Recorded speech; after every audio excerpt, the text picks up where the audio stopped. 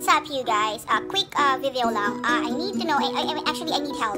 I need help dito. Uh, I don't know kung anong tawag sa kanya. So I have a cam. So I'm using my phone right now. I have a, well my wife's cam.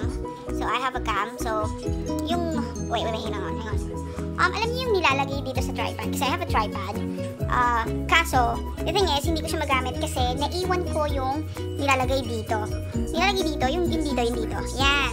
Yung, yung square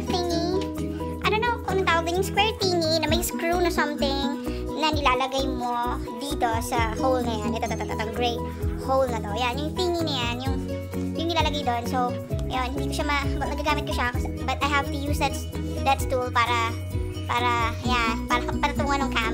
So, yun, uh, para magamit ko yung tripod, I need to know kung anong tawag doon para I can google it kung saan ako pwedeng maka avail or purchase nun. So, please help me kung anong tawag doon, ha guys? Thank you. Bye.